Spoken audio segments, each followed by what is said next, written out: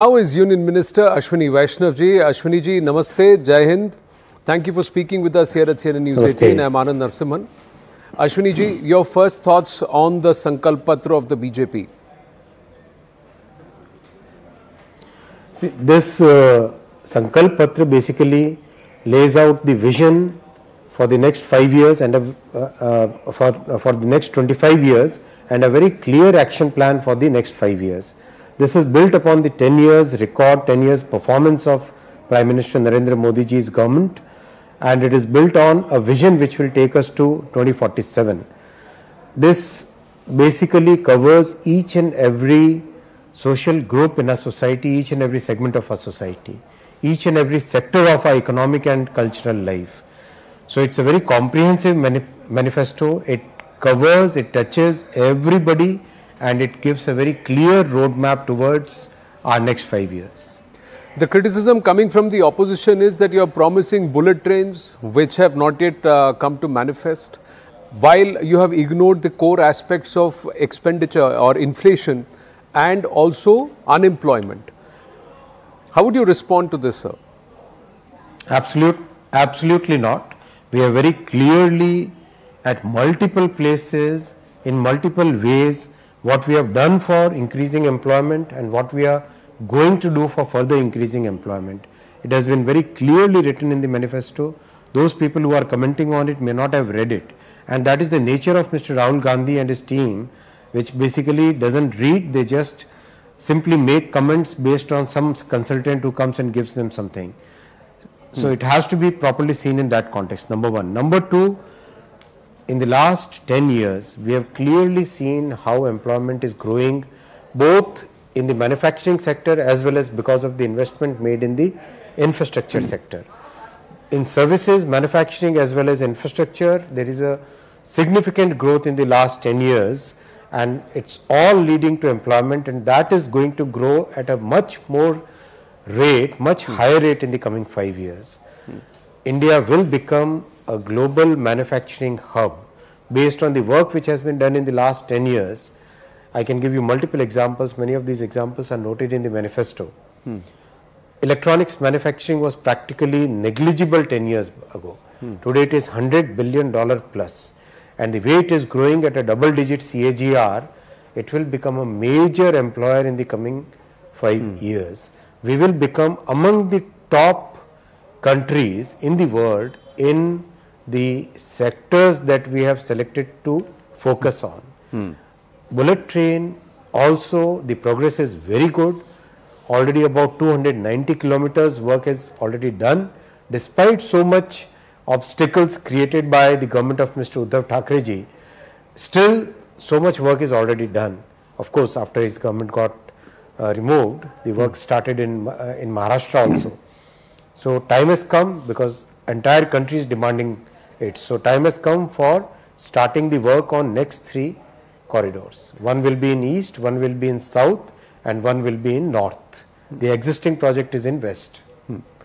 The, the aspect of jobs, job creation, the allegation made by uh, the Congress party specifically is that the manifesto of the BJP or BJP Sankalp Patra mentions jobs only twice. Whereas the Congress manifesto openly promises 30 lakh sarkari naukris plus 1 lakh stipend for educated youth and also 50% reservation for young girls in jobs. Uh, so this is the, and where is the government's vision here?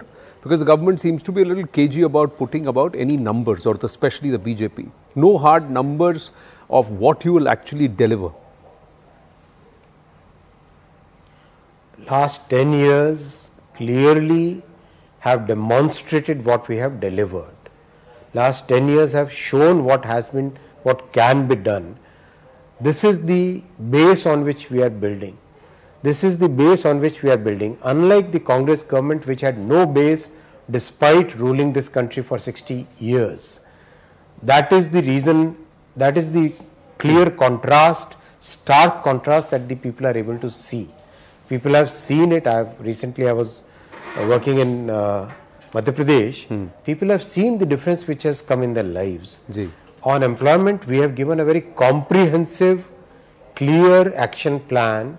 This action plan is based on employment in government, where we have demonstrated a clear, transparent recruitment system in which throughout the 10 years government jobs have been filled consistently. In the last one year itself, almost 10 lakh jobs have been given through the Rojgar Melas and in a very transparent way the exam has been conducted. Hmm. In the manufacturing sector, which is a very big employer, we have given a clear roadmap for, make, for making India a global manufacturing hub.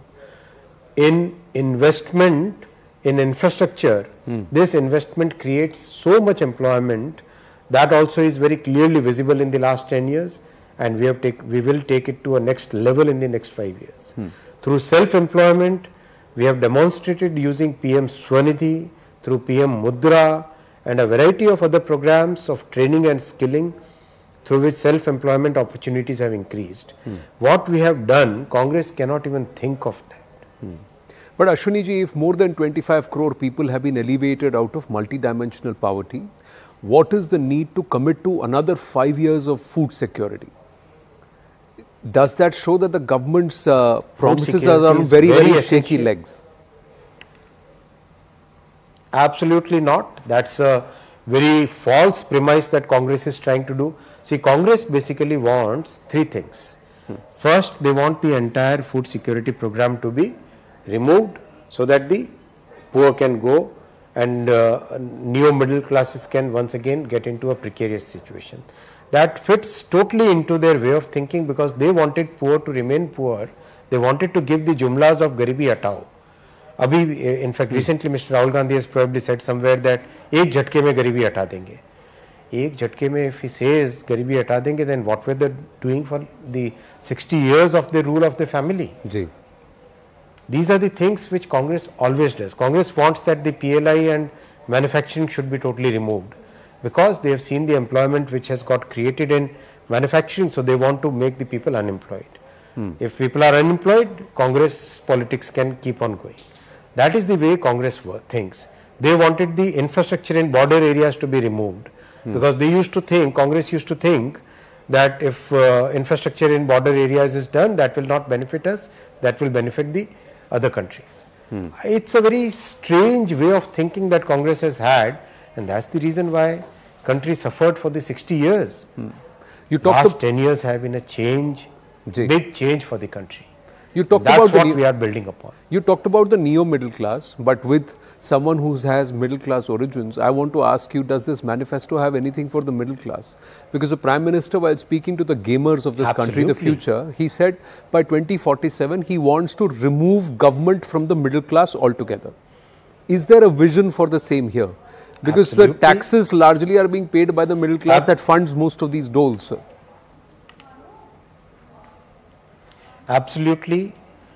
There is a clear chapter on the middle class and a very clear action plan for the middle class. This next term, Modi ji's third term, will be totally focused on providing homes to every middle class family. He has even promised 3 crore homes. Second, the investment which is being done in infrastructure that provides huge opportunities and quality of life for the middle classes. Metro is used by middle class, trains are used by middle class, new airports which are getting constructed are, constructed are giving new opportunities and better travel to the middle class. For the middle class employment, Modi ji has clearly given a guarantee for increasing the number of GCCs, the Global Capability Centers, the mm. Global Tech Centers, the Global Engineering center, Centers, increasing manufacturing in the country, increasing knowledge based economy, increasing self self employment opportunities. We have seen in the last 10 years how many startups have come in the, come in the country. More than a hundred thousand, एक lakh se ज़्यादा startups 10 साल में आए. More than 100 are unicorns. So that kind of thing which is which was unthinkable, that is all benefiting the middle class. Second, the investment done in social infrastructure, especially in health and education. Hmm. This is clearly benefiting the middle class and that we have again promised to take it to a totally new level. 350 hmm. universities done, 7 new IITs done. Imagine till 2014 the entire country had only 7 IIT, uh, sorry 7, uh, 7 hmm. AIIMS. Now we have 18, uh, uh, 18 AIIMS. metro has gone to 20 countries. So these are the things which are directly benefiting the middle class. Hmm. And this is going to be a major, major hmm. focus in the coming five years. Ashwini, two aspects of the common civil code or uniform civil code and then thereafter also aspect uh, the other talking point of one nation, one election. Now this one nation, one election, are you a votary of the same? Would you believe it's going to be beneficial? And in this current structure where we have an Aadhaar, Absolutely. we have a PAN card, where we have a voter ID card, and this voter ID card, if I change locations, move from Delhi, uh, Noida to Mumbai or Mumbai to uh, Bhubaneswar or Bhubaneswar to Hyderabad, then I am not eligible to vote in those areas unless I change my voter ID. So in the scenario like this, and plus every two, three months, six months, we have an election cycle. 2027 is Uttar Pradesh. So if by 2029 you say one nation, one election, so will Uttar Pradesh in the next five years go to the ballot twice? These questions arise. How is it possible? See, the Kovind committee has given a very clear recommendation and it has consulted practically everybody. Each and every political party has been reached out to, all the stakeholders have been consulted. Uh, this Uh, uh, this report is now in front of us. This will be studied and implemented. We are committed to one nation, one election, exactly for the reason that you said. Why the country should be facing election cycles again and again. We need to work meticulously to reach the level of a developed country. Next 25 years are very, very important for our country. We can build a base which will keep us, keep the momentum for next many centuries. And we have had a glorious past and if we can build that kind of base, we will have a great future. We are very sure of that. Hmm. So why why not look at every aspect of our life, whether it is political, social, cultural, and make sure that the conditions on every aspect are created hmm. which lead us to that kind of future. Hmm. So that's why this very well thought out um, program has been drawn out hmm. and one nation one election is a commitment for us. Yes it will require a lot of legislative and other changes and it will have to be implemented with a lot of care and thought that we are committed to do. But do you believe uh, as an astute uh, you know technocrat yourself and somebody who understands the complexity of doing something like this as an exercise that we have to move towards a single number system or a single social security system and that's not possible till we have a census or an NRC. NRC had a mention in 2019 manifesto, this time around it's not being mentioned. So is it all possible without the back end being put in place, Ashwini ji?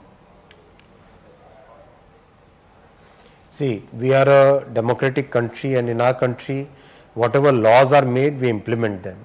In our case, today the law has been passed by the parliament about CAA Hmm. And that is for giving citizenship to people who were religiously persecuted. So that we are going to implement in a very proper way. Regarding the programs and schemes, a very clear digitalization has happened in the last 10 years. We have seen the benefits of that. We have seen the benefit of Aadhaar, we have seen the benefit of Jandhan, we have seen the benefit of UPI and DigiLocker. Hmm. We have seen how the cost of transactions have has come down from $8 to a few cents that kind of progress we have seen.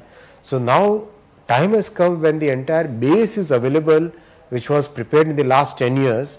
This base can be used to build structures where people get all the benefits and they are able to exercise their franchise and they are able to get the basic services from the government as well as the private sector in a seamless digital fashion. Hmm.